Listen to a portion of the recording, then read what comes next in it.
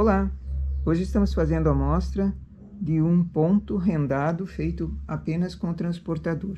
Esse vai ter o sentido vertical, então você pode escolher fazer um ou vários. Aqui eu vou fazer dois. Seleciono uma agulha, transporto para o lado o ponto. Conto duas, seleciono o próximo. Conto três, seleciono o próximo.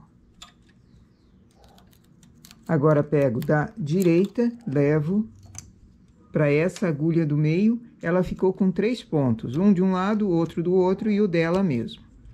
Conto três, transporto, conto duas, transporto. Então, ele tem esse tamanho, o desenho, a base dele. Dou uma distância de pontos entre um e outro. Eu vou começar aqui da, da direita, porque eu quero que caibam dois pontos aqui, dois desenhos. Conto dois. Conto três. Agora, transporto da, do outro lado. Conto três agulhas e duas eu dei uma distância de 2, 4, 6, 8 pontos centrais. E esse também poderia ser um trabalho que acompanha uma trança, por exemplo. Aí você deixaria mais pontos aqui entre um desenho e outro para formar uma trança, uma trança larga ou uma trança estreita. Também ele ficaria como uma margem a essa trança. Ou de repente ao contrário, uma trança de cada lado desse desenho central. Dá para variar e juntar bastante pontos assim. Faço duas carreiras.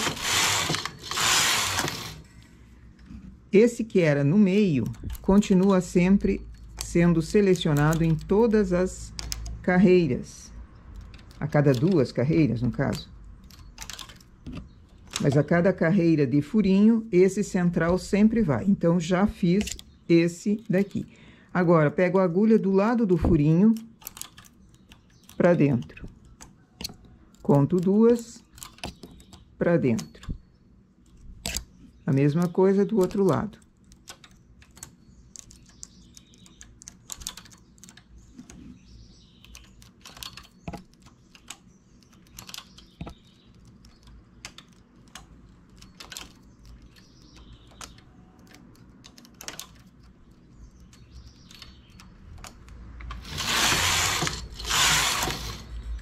E terceira carreira,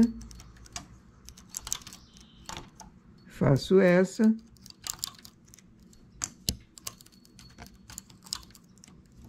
Eu sempre levo o ponto seguinte ao que tem o furinho e para dentro.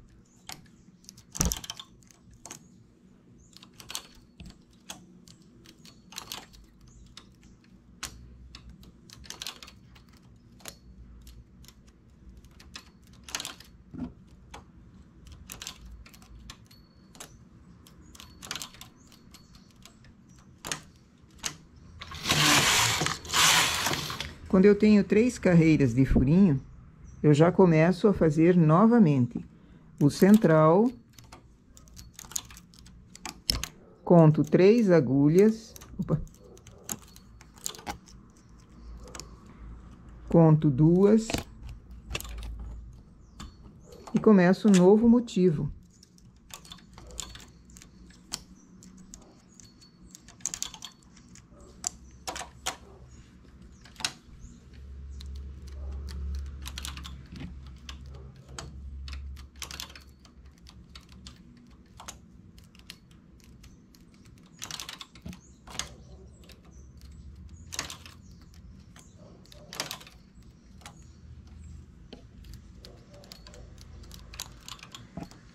Então, eu tenho novamente o central, que é uma agulha de um lado, uma agulha do outro, conto três, sem, só de malha, faço o furinho na quarta. Conto duas, faço o furinho na terceira. E assim ele se repete. Ele é um desenho curto, que se repete várias vezes na vertical.